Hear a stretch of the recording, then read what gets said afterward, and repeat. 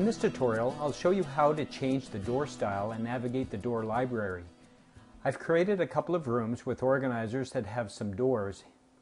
And when you add a unit to the work area, the default door style is a European door with a 2mm edge tape.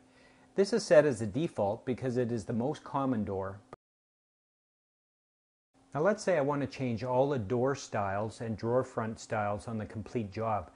This is really easy. Just bring up this door library and currently all of these doors are a European 2 millimeter door and I want to change it to a shaker let's say. So I'm going to go to this fifth tab, click on shaker and then under shaker series I'm going to click and hold and drag that door to the top door area, to the drawer front and to the base door area.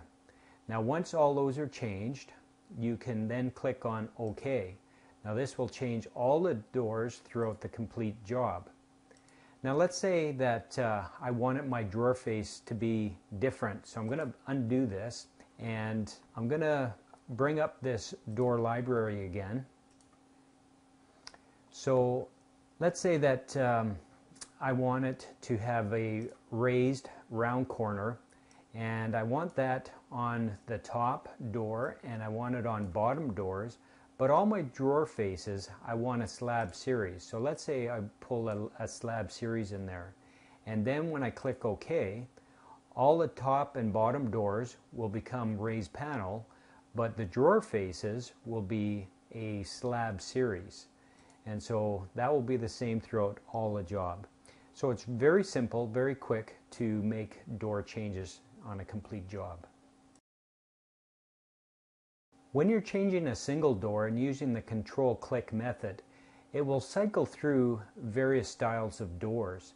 Let me show you how that's done. Usually the first time you pr press control and click, the door will disappear. The second time, you'll get a Sorrento glass door, then a Sorrento shaker, then you'll get a shaker series and you have to look close. If I back up, you'll notice that the Sorrento has a mitered corner and this is a five piece door and that's why it has a miter as compared to the Shaker series which is square. And you can cycle through this, you get a raised panel, you get the uh, European flat tape door and then the European 2 mil door.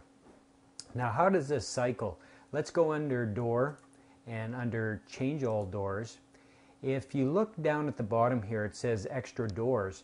It's actually cycling through this list of doors, starting at the glass door and working its way back towards the flat um, two millimeter door. Now you'll also notice underneath are door codes and you should refer to the door code on the website because each of these codes refers to a, a, style of door. For instance, the SGP refers to the Sorrento glass door, whereas the MSFP refers to the Sorrento shaker. And so that's a quick way of knowing what door that is referring to and checking to make sure you've got the right door. Now let's say I wanted to delete a drawer or a door. You can do this very easily. Let's say on this tower unit here, I want to delete the top door. Just press control, your cursor will change with a door attached to it and click on that and now the door is gone. I can also do this to any drawer. Let's say this second drawer from the bottom I want to get rid of. Click on that and it's gone. Now that not only deletes the face, the drawer face, but it also deletes the whole drawer so it wouldn't appear on the cut list. And so it's as easy as that to modify and change the units.